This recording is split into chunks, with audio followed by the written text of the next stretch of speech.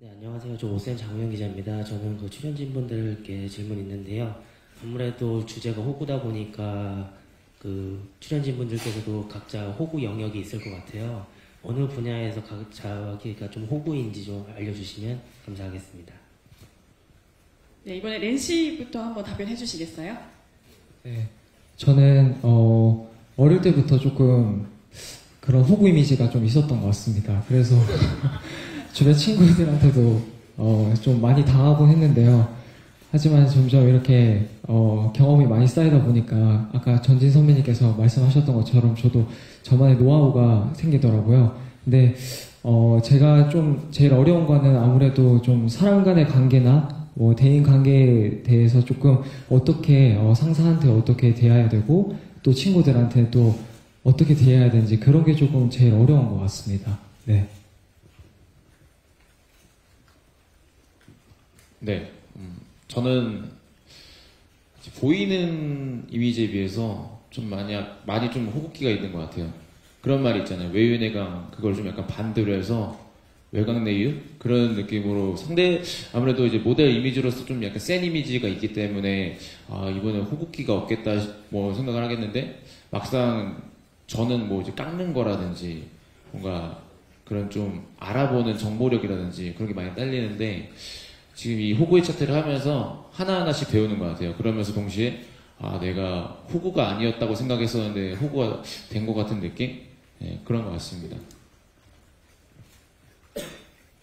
저는 워낙 좀 귀가 얇은 편이에요. 그래서 대학교 때 제가 경제학과여가지고 좀 주식 공부를 같이 했던 친구가 있었는데 뭐 이렇게 뭐 이 종목이 좋다 했을 때 제가 어느 정도 돈을 한번 그 친구 믿고 들어갔다가 잃은 적이 있었는데 그 부분을 제가 일하면서 부모님께 다 이제 갚아드렸거든요. 그래서 저는 그 일을 계기로 다시는 이제 주식 쪽 투자를 안 하겠다라고 생각을 했었는데 좀 깜짝 놀란 것이 그 비트코인이 한창 막 핫할 때.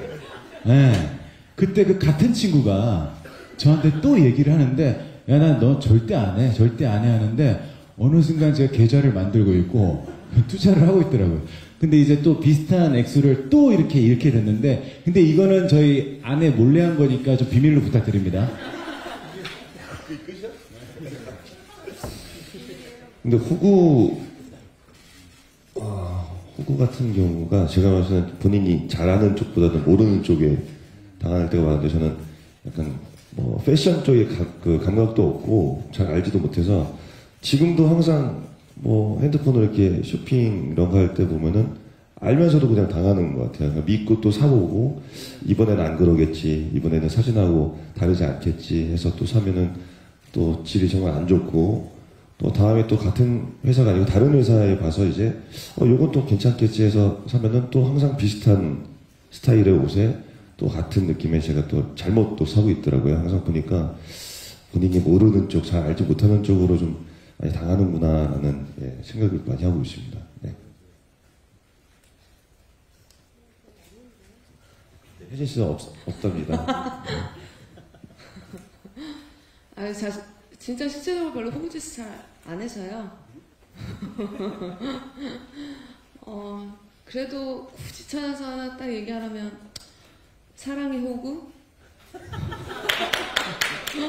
아니 저희가 제가 뭐 무슨 뭐 기사나라고 얘기하는 게 아니라 메인이다 메인. 아 그게 아니라 나는 나는 사랑의 사랑의 호구. 호구다. 그게 아니라 저희가 2회 어, 때난 또 당했다. 2회 때 저희가 연애 호구 이런 걸 해요. 마음대로 쓰세요.